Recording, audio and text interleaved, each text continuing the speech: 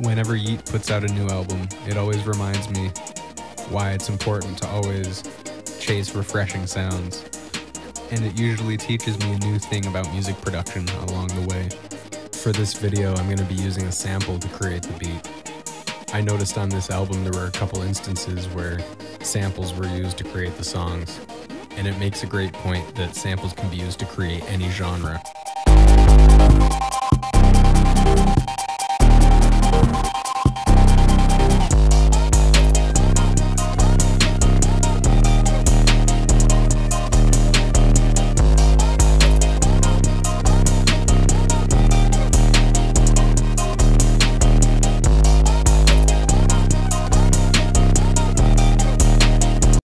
Okay, so this is the live screen of Ableton, and this is the project file for the beat.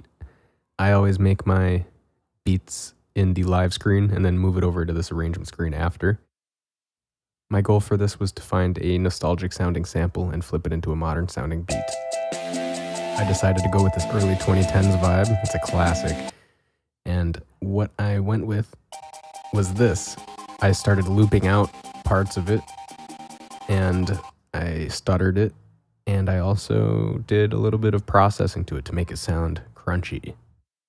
To get that stutter, you don't even have to add an effect in Ableton. You can go right into the audio clip, and there's some parameters that you can mess with to make it do that. So these are the effects that I chose to put on the actual sample.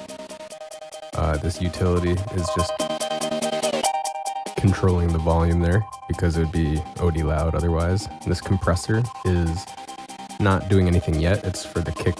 It's just a sidechain compressor, but the redux is the big thing here. And that is bit reduction. I'm just making the audio quality worse on purpose, making it more crunchy with a digital distortion sound.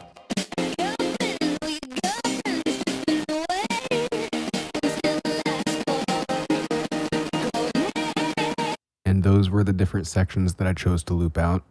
Since I was just looping sections, I didn't have to uh, come up with a new bass line. I just followed the notes that were already there. So looking at the bass, I have a bass group.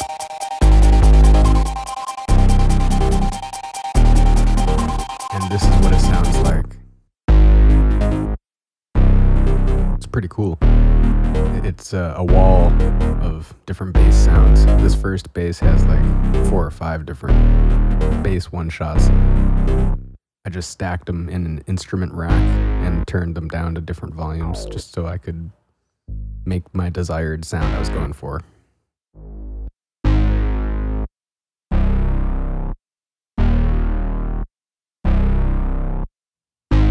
These were the bass notes.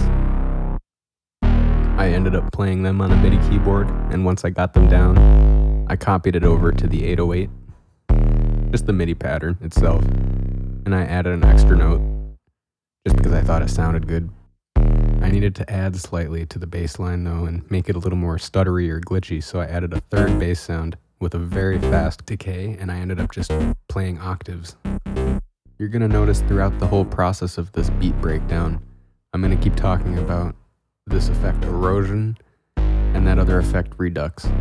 Those things are important because they dirty up the sound in a way that makes it characteristic to Yeat.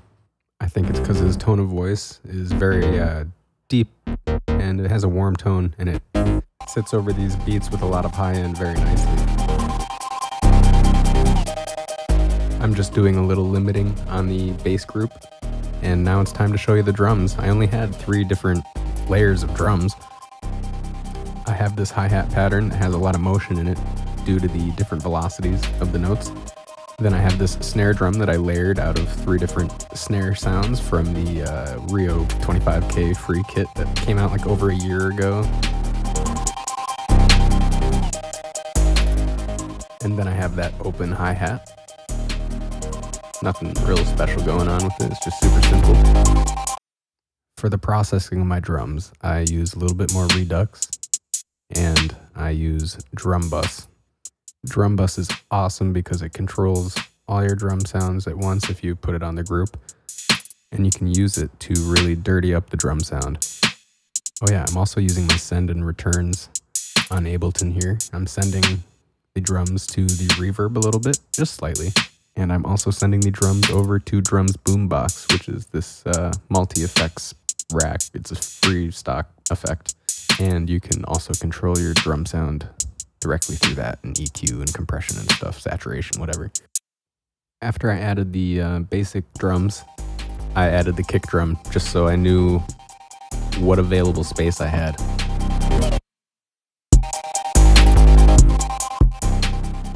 Since there was so much bass frequencies going on already, I didn't want a kick with a lot of muddiness or heaviness to it, so I opted to take that out and make a lighter kick that would stand out a little more. The big thing there was mainly using a little bit of overdrive on the kick to make it sound a little fluffier. I then used a little bit of limiter to smooth out the kick and the bass. This is when I started adding sidechain compression to things that had a lot of bass frequency in it. So like the sample and then my bass group. I decided for the next section of the beat I was going to use a different part of the loop. And for that, it needed a different bass line. So I got sturdy with the 808.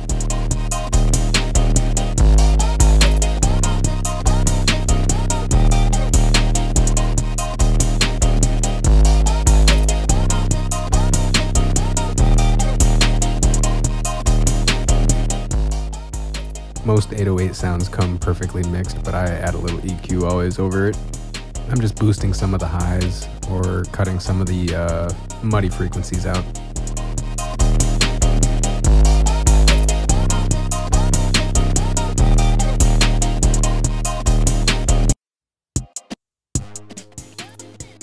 I knew I didn't want to just use this sample solely for the beat. I wanted to add some more musical elements myself to accomplish that, I used what is on this pink channel and this blue channel right here. There is an additional synth bass right here.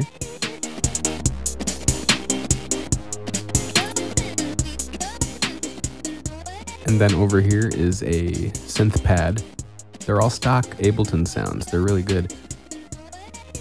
Yeah, so this synth pad, and I just added a little bit more reduction and erosion.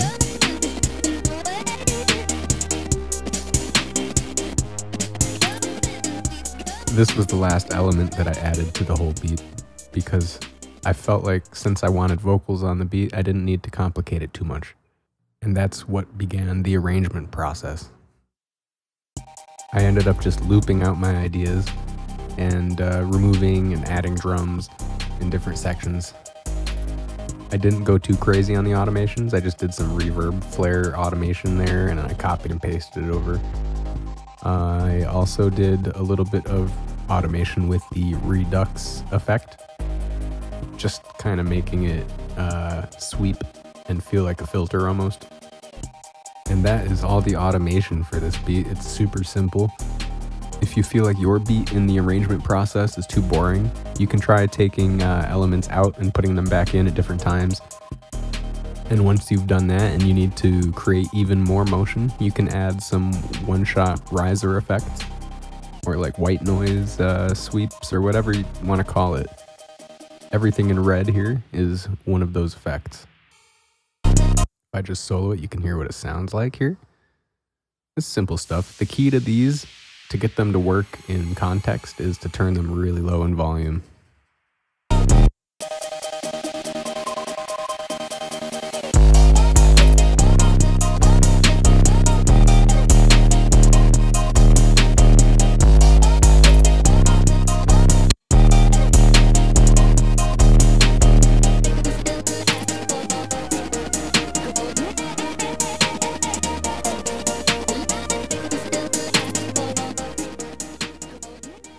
When you cook these beats up, you have to trust the process and know you're about to put some mastering effects on at the end, like a limiter, obviously, but the secret sauce is overdrive, just like 4 or 5%.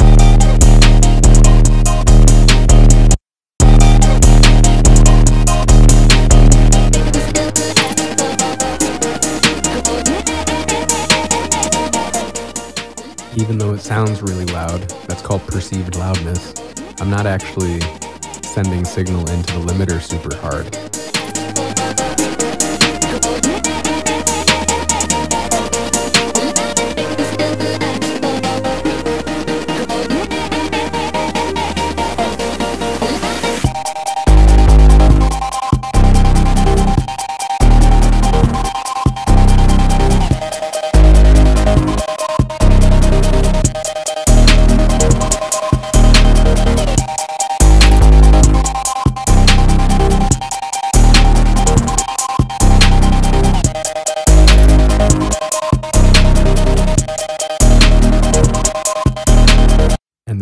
Completes the beat that I was making there.